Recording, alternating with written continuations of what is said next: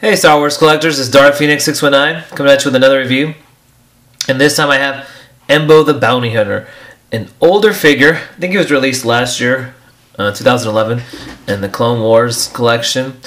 Um, there's been some great episodes of the Clone Wars uh, season 4 a couple weeks back where we've seen Embo uh, in, in some of those episodes, and he's just such a cool character. Um, definitely one of my favorite characters from the series you know everything he's been in he's been awesome. Just big fan of embo so decided to review his figure. So let's get on to it. All right. So here we go. Here's embo I don't remember the name of the species but um, he was inspired by that the japanese samurai. It's, it's inspired his look so we have the soft goods skirt with what looks like some writing. I don't think it's Aurebesh. Okay. And then over the soft goods skirt, there's a plastic, you know, piece. Some nice, uh, uh, intricate details right there. De decorative. Some decorative lines, looks nice. Okay. Got the boots. Should look good. Nice brown color to them. Okay. And then let's remove his crossbow to get a better look at his chest armor. So you've got the bandolier slung across with some shells right there. Looks nice. Uh, the chest armor with the shoulder pads has an emblem right there. Nice little detail. Okay. The back of the bandolier, there is two uh, holsters for the knives, which of course are removable. Mm, come on. I'm gonna take off his hat. It's one of the things I don't like about the figure. I'll talk about that later. So. So you got the daggers there, which he can hold or place in his holsters. Little kunai type weapon. Very cool. Throwing knife. So those two are both removable. Okay. Got the arms, the gloves, very nice. And then the head sculpt, a closer look at the head sculpt. It's pretty good. Nice and nicely molded. Got the breathing apparatus, I'm not sure what it is. Eyes look good. So, looks great. Okay. The uh, chest armor, this part right here, is is removable. The the shoulder armor with the bandolier. Okay, just have to pop off his head. I'm not going to do that. And there's the belt. Okay, so great looking figure, really really good looking figure.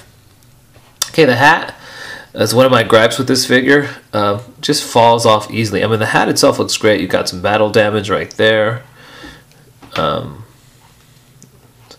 you know, you can tell that the, that the hat's been through some through some heavy uh, battles. So some dents and some you know indentations of bullets. I mean, it looks great, and you know he of course uses this as his weapon in the series, kind of like Captain America does with his shield. So it just falls off. You know, it's a pain to put on. You know, it just seems like right now it's actually staying on, but usually it tends to fall off pretty easily. I don't know. It's my one of my few gripes with this figure. Okay. And then as for the crossbow, his other accessory. I think it's new. Um, another gripe is that these little parts keep will come off easily. So if you're just displaying the figure, it's not such a big deal, but um, it tends to be annoying.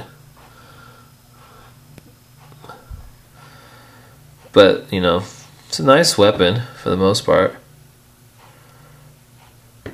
They just come off easily. But you can, you know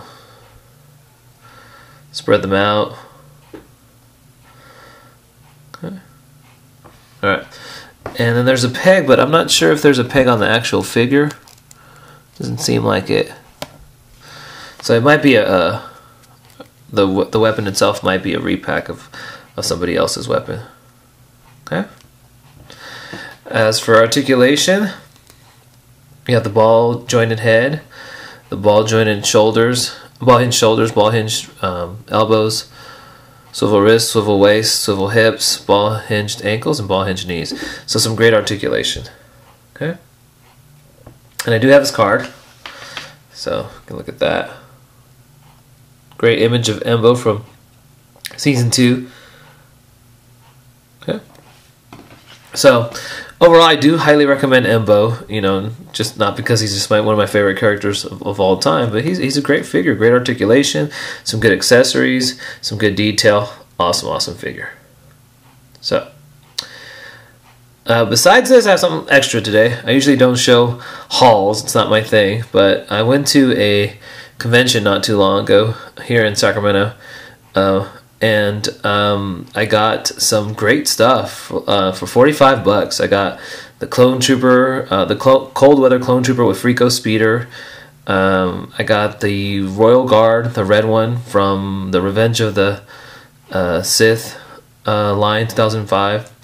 I got the 501st Clone Trooper, um, Walmart exclusive from the Clone Wars uh, 2008, and uh, two really awesome packages uh, figures that I want to show off.